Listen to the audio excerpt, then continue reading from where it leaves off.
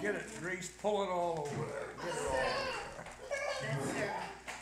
That's Sarah. there. Well, I Sarah. remember when Dave and I were dating, we we would go down and visit you, and you always were, you always opened your house to me and always made me feel very welcome, and it was wonderful. But I always remember you would take me out in your garden, you would tell me all about your flowers and your hens and chicks and your heliotropes and whatever those, the flowers were just always in bloom and everywhere, and they were always just gorgeous. And I remember you get, you gave us some hens and chicks to bring back, and they have hens and chicks, the, the little Hens and chicks. Oh, hens and chicks, and so we brought some of those back, and they were in our front away house for a long time, and now they're in our Bonney Lake house, and they have multiplied, so we have these hens and chicks. Mm-hmm. I have hens and chicks too. Mm-hmm. I think we went to Silver Creek Falls.